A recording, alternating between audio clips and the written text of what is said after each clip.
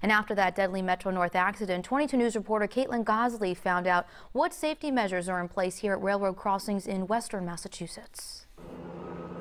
Tuesday's crash between a Metro North commuter train and an SUV was the deadliest accident in the rail service's history and is a frightening reminder of just how risky this often daily act of driving over train tracks can be. I would say it is scary. You know, getting hit by a train, that's scary. So I, I avoid it as much as possible. Just go by the rules. You see those lights flashing? Stop.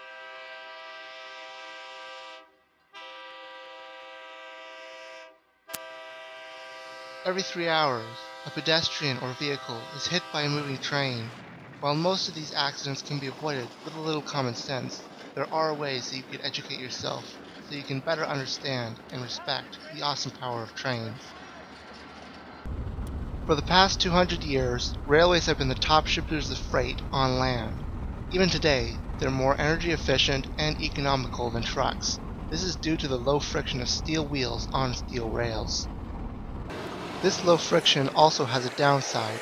It can take anywhere from half a mile to a mile and a half for a fast moving train to stop, depending on the weight, which can be in the thousands of tons. It's difficult to judge the speed of a train as it's traveling head on. Take this Norfolk and Southern freight train for example. How fast do you think it's going? 20, 40, or 60 miles per hour? Many people will guess 40. It's really 60. That 20 mile an hour difference can spell a disaster for someone trying to race a train to a crossing. Even if you barely clear the tracks, train still overhangs 3 feet on either side of the line. Now an increased number of high-speed trains are moving through western Massachusetts as Amtrak's Vermonter rail line added stops in both Northampton and Greenfield, with another stop soon to be added in Holyoke. I think people should be a little bit more tentative with a high-speed train, but uh, regular rules apply.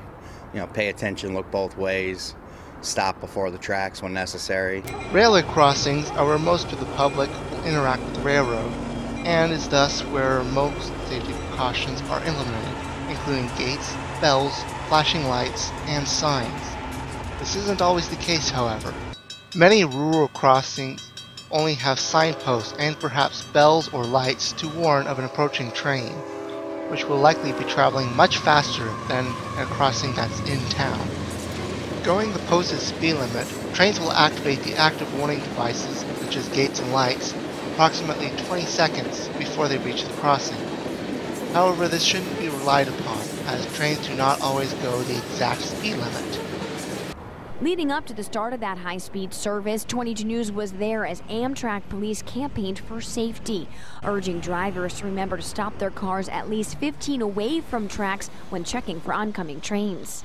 Amtrak police also say that when you're in a line of cars, you should never pull out partially onto train tracks. You should only drive over them when you know you can clear those tracks completely. Operation Lifesaver, Amtrak's nonprofit rail safety group, told 22 News drivers need to always be listening closely for oncoming trains, even if those signal lights are not flashing, and be aware that snow can muffle the sound of an oncoming train. You should not rely on train schedules to predict a train's approach. While trains are usually on time, there are such things as unscheduled trains, or specials. If there is a sign at or before the crossing saying that there are more than two sets of railway lines, or you see more than one set of tracks, then you should be looking for as many trains as there are tracks. Technology isn't perfect, and things break. If you see a crossing malfunction, there is a blue sign posted underneath the crossbucks and black letters on the gatehouse with a phone number and a crossing serial number. Call that phone number and the local police department phone number to report the malfunction. Tell them the serial number, the name of the street it's on, and exactly what's wrong with it. Trains are awesome, there's no denying that. They can also be darn inconvenient at times, getting in your way when you need to be somewhere. Be patient, don't race it. But there's one thing to take away here, is that it's a really bad idea to race a train. They're a lot faster than you think. If you tie, you lose. For more information, visit Operation Lifesaver's website at www.oli.org. Operation Lifesaver is a nonprofit organization dedicated to railway safety. Thank you for watching.